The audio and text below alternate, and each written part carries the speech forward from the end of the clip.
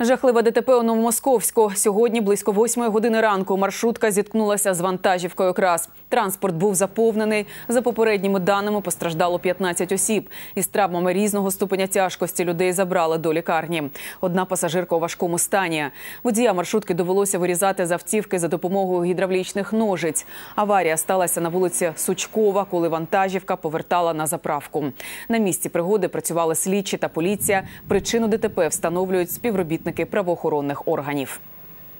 Е, Як пояснює водій КАМАЗу, він рухався, після чого, включивши е, сигнал повороту, е, захотів повернути уліво, і в нього на швидкості в'їхав е, водій маршрутного таксі. І звичайно, удар був дуже потужний, тому що в нас дуже багато постраждалих. Зараз будуть призначені всі необхідні експертизи. Це експертиза стану технічного, технічного стану транспортного засобу,